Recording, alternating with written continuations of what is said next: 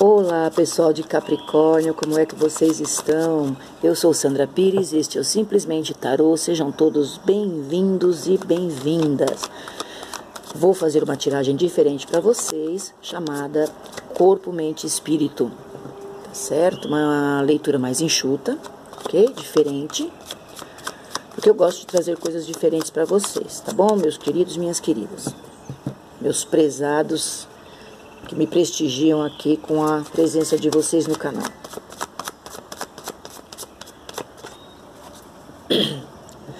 Eu estou tentando gravar aqui fora porque está uma manhã muito bonita. Espero que nada nos atrapalhe. Qualquer barulho aí de cachorro, alguma coisa assim, vocês relevem, tá bom?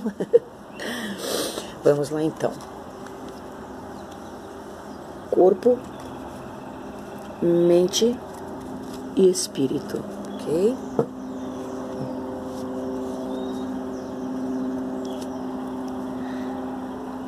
Aqui na, na, na, na linha do corpo, não é?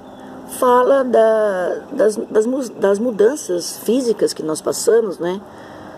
Nosso corpo é um na infância, depois a gente vai amadurecendo, fala das fases da vida, fase adulta, velhice, e que em todas elas é importante nós nos cuidarmos.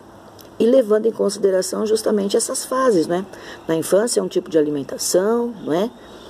Na adolescência vai mudando, na fase adulta também, e na, na, na terceira idade, né? A gente tem que ir fazendo adaptações, e, mas em todas as fases da vida é necessário atenção com a saúde, tá?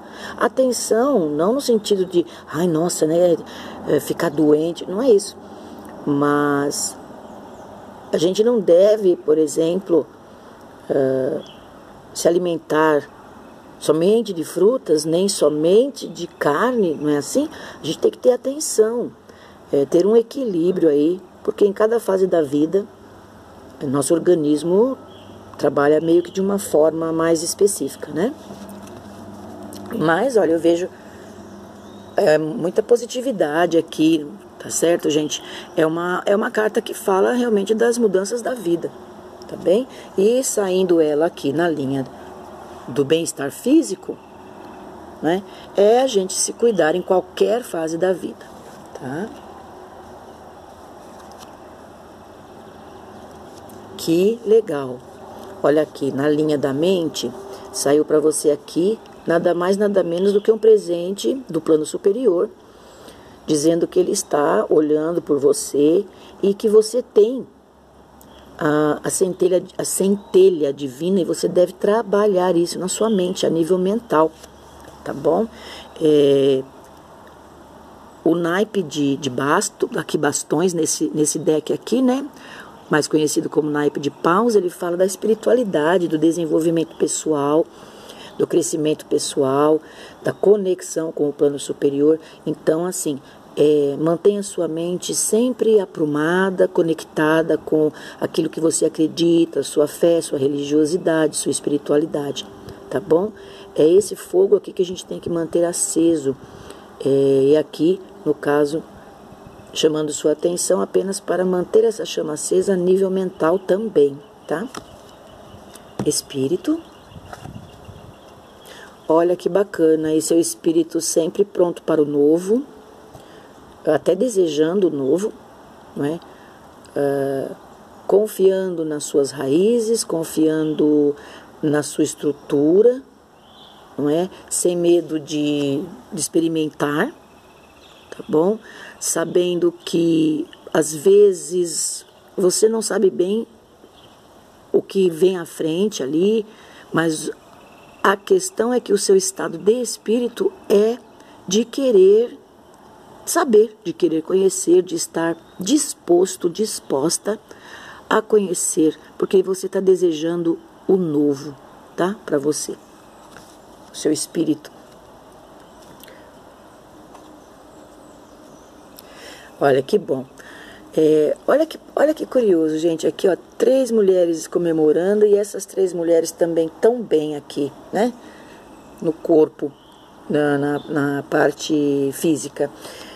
Você com a saúde bacana, vai, vai comemorar, vai celebrar, vai, vai estar com as pessoas, conecte-se. Sabe, faça coisas que te dão prazer. As pessoas que são suas parceiras. Sabe? Isso aqui também, gente, faz tão bem para a saúde, as pessoas não, não ligam muitas vezes uma coisa a outra. Mas estar feliz, buscar o bem-estar. Ninguém é feliz o tempo todo. Mas a gente também deve buscar momentos assim, ó. Muitas vezes a gente procura felicidade só na grandeza, a gente acha que só há felicidade em coisas grandes e não. Na verdade, a felicidade está nas pequenas coisas do cotidiano. Então, estar com quem amamos, celebrar, compartilhar, nos reunirmos apenas para dar risada e jogar conversa fora, isso faz um bem absurdo para nós, para o nosso corpo físico, para nossa saúde. Tá? E olha só, são três gerações também: uma, uma adolescente, uma senhora e uma mulher aqui, é, grávida, inclusive. Então, assim, a continuação da vida, muito interessante aqui para você, a parte do corpo físico. Olha, ela está grávida aqui, tá vendo? Curioso, né? A roda da vida aqui, falando para você dos ciclos da vida e aqui a comemoração disso. Eu vejo muito família aqui. Deve ter aí na sua família, deve ter alguma, alguma mulher ou até mais de uma esperando um bebê, às vezes ela nem sabe ainda. Mas é muita comemoração, tá muito bonita essa parte física aqui, porque inclusive, não é? A, gestação é algo saudável de mulheres que estão saudáveis na, na grande maioria das vezes. Muita alegria aqui, muita comemoração de saúde, de nascimento. Que bacana. Vamos aqui para a mente. Aí, apesar de tudo, aqui fala de uma finalização de uma fase difícil, né? o fim de um ciclo muito difícil para o começo de outro. Que bom! Aqui a sua mente ficou bastante. Ah, sofreu com isso, né? Talvez por isso mesmo, olha, vem essa carta dizendo para você: superação. Lembre-se de quem você é, tá? Trabalhe esse fogo que você tem, porque todos temos. Trabalhe esse fogo mentalmente, tá? Que você está no controle da situação, até porque essa situação acabou. E olha, posso te falar uma coisa? Foi um livramento. Você não perdeu nada, isso aqui foi um livramento. Olha só essas borboletinhas voando aí, dá para perceber? Então, tudo isso que você passou de muito difícil te libertou de algo. Vai fazer, vai te dar liberdade, sabe? Espírito. Ai, que bacana, ó.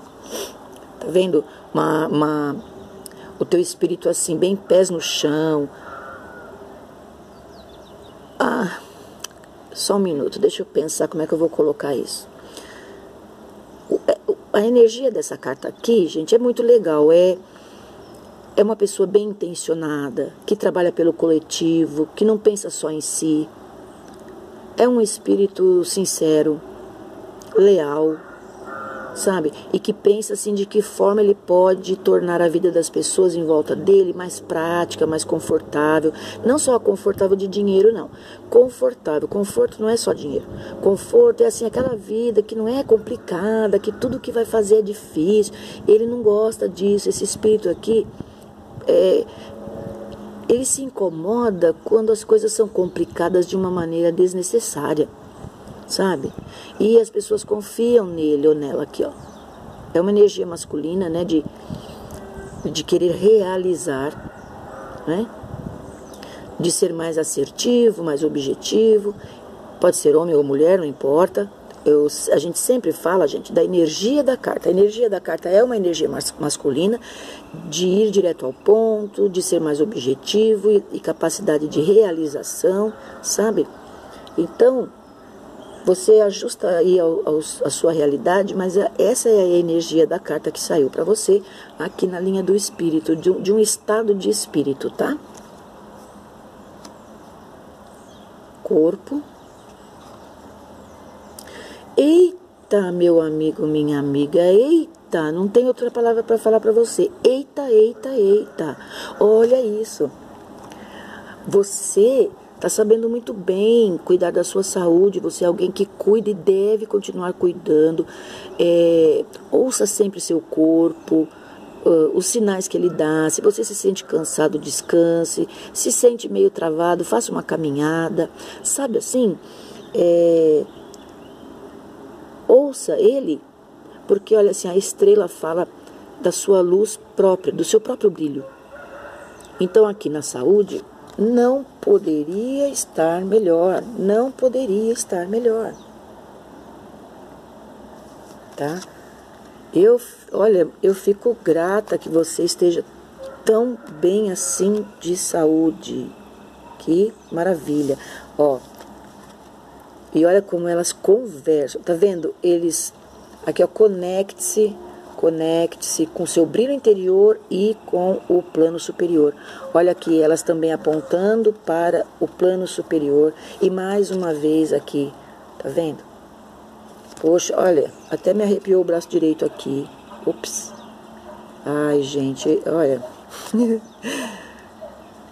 Que, que bênção isso. Eu vejo gravidez aqui, não, não só porque está na carta, aqui em duas, de três cartas, duas tem, uma, tem mulheres grávidas, mas porque é, é muita saúde aqui, né?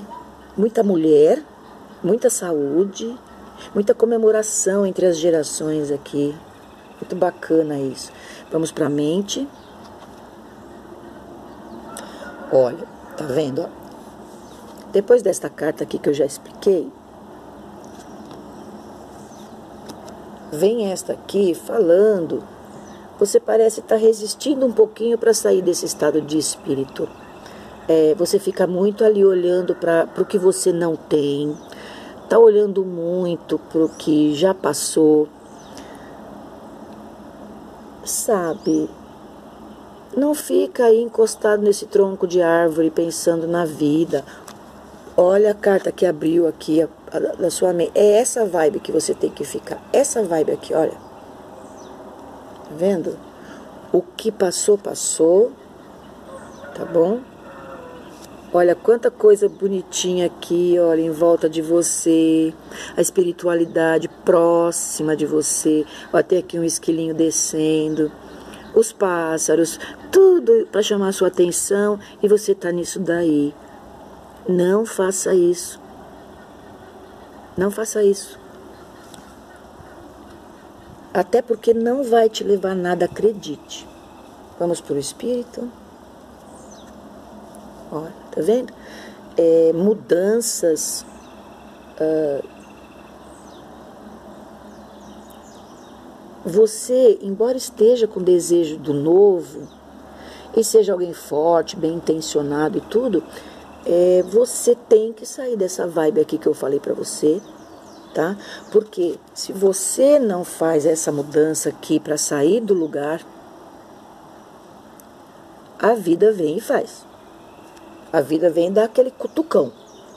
Manda aquele raiozinho na cabeça, tipo assim, ô, oh, sai dessa. Entende? Então essa carta fala de mudanças, geralmente repentinas, de coisas que nós deveríamos ter mudado e não mudamos. Tá? Então, seja como o imperador, confie, confie na espiritualidade. Olha que ele tem uma fita aqui que se liga à imperatriz, tá? Então, é, a imperatriz é o planejar e ele é o executar. Então, assim, execute, execute. Se você tem o desejo do novo, de de repente até ir para um outro lugar, vá se você acha que vai te trazer felicidade. Olha, planeje. Planeje, seja direto, objetivo, objetiva, tá? E realize essa mudança por você mesmo, tá bom?